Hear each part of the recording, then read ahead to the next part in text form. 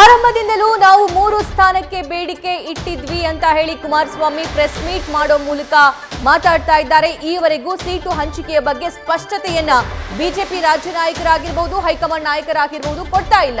ಕೇವಲ ಎರಡು ಸೀಟ್ಗೋಸ್ಕರ ನಾನು ಹೊಂದಾಣಿಕೆ ಮೈತ್ರಿ ಮಾಡಿಕೊಳ್ಬೇಕಾಗಿತ್ತಾ ಅನ್ನೋದು ಕುಮಾರಸ್ವಾಮಿ ಅವರ ಪ್ರಶ್ನೆಯಾಗಿದೆ. ಈ ಪ್ರಶ್ನೆಗೆ ಬಿಜೆಪಿ ನಾಯಕರು ಏನ್ ಉತ್ತರ ಕೊಡ್ತಾರೆ ಅನ್ನೋದನ್ನು ಕೂಡ ಕಾದು ನೋಡಬೇಕು. ಅದರ ಜೊತೆಗೆ ಮೈತ್ರಿ ಮಾಡಿಕೊಳ್ಳಲು ಮೂಲ ಕಾರಣವೇ ಕಾಂಗ್ರೆಸ್, ಮೂಲ ಕಾರಣವೇ ಡಿ ಕೆ ಶಿವಕುಮಾರ್, ಮೂಲ ಕಾರಣವೇ ಟ್ರಬಲ್ ಶೂಟರ್ ಅಂತ ಹೇಳಿ ತಮ್ಮ ಅಸಮಾಧಾನವನ್ನ ವ್ಯಕ್ತಪಡಿಸಿದ್ದಾರೆ.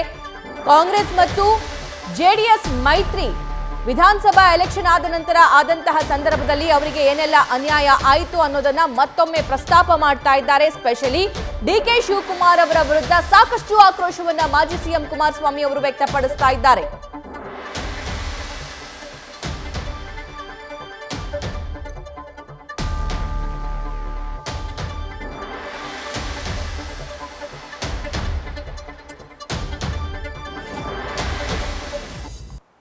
ಯಾವ ಥರ ಅವತ್ತು ದಾರಿ ತಪ್ಪಿಸ್ಲಿಕ್ಕೆ ಪ್ರಯತ್ನ ಪಟ್ಟಿದ್ದೀರಿ ನಾನು ಮಾಡಿದಂಥ ತಪ್ಪಲ್ಲ, ಅವತ್ತು ಸಹ.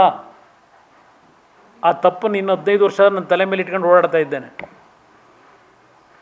ನಿಮ್ಮ ಅನುಕಂಪ ಬೇಕಿಲ್ಲಪ್ಪ, ಡಿ ಕೆ ಶಿವಕುಮಾರ್. ನಿಮ್ಮ ಅನುಕಂಪ ಬೇಕಿಲ್ಲ. ಆದರೆ ಇವತ್ತು ನಾನು ಕರೆದಿರ್ತಕ್ಕಂಥದ್ದು, ಈ ಚುನಾವಣೆ ಏನಿದೆ, ಬೆಂಗಳೂರು ಗ್ರಾಮಾಂತರ. ಒಂದು ಕಡೆ ಅಧಿಕಾರ ದುರುಪಯೋಗ, ಒಂದು ಕಡೆ ಮಜಲ್ ಪವರು. ಇನ್ನೊಂದು ಕಡೆ ಹಣದ ಏನೋ ಒಂದು ತೈಲಿ ಇಟ್ಕೊಂಡು ಕೊರಟಿದ್ದೀರಿ.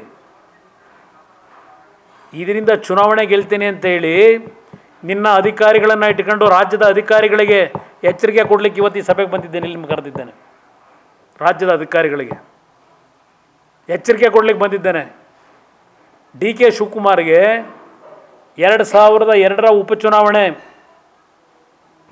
ಸನ್ಮಾನ್ಯ ದೇವೇಗೌಡರು ಅವತ್ತು ತೊಂಬತ್ತೊಂಬತ್ತರ ಸಾರ್ವತ್ರಿಕ ಚುನಾವಣೆಯಲ್ಲಿ ಸೋತಿದ್ದರು ಬೈ ಎಲೆಕ್ಷನ್ ಆಯಿತು ಕನಕಪುರದಲ್ಲಿ ಎರಡು ಸಾವಿರದ ಎರಡು. ಆ ಚುನಾವಣೆಯನ್ನು ಶಿವಕುಮಾರ್ ಜ್ಞಾಪಕ ಮಾಡಲಿಕ್ಕೆ ಇವತ್ತು ಮಾಧ್ಯಮದ ಸ್ನೇಹಿತರ ಮುಂದೆ ಕೂತಿದ್ದೇನೆ, ಆಸ್ಪತ್ರೆಗೆ ಹೋಗೋದಕ್ಕಿಂತ ಮುಂಚೆ.